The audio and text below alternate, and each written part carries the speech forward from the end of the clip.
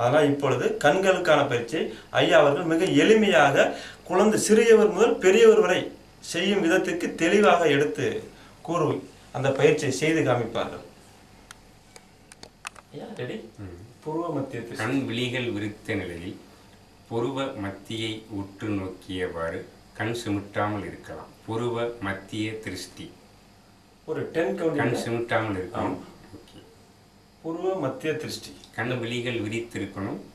நல்லா விரித்து கண் சிமிட்டாமல் இருக்கணும். கண்களில் நீர் வந்தாலும் பரவாயில்ல. கண்களில் அழுத்தமோ தேய்ச்சிடக்கூடாது கண்களில் இறுக்கமோ இருந்தால் கண்களை மெதுவாக மூடி கண்களை கைகளால் அழுத்தாமல் இருக்கணும்.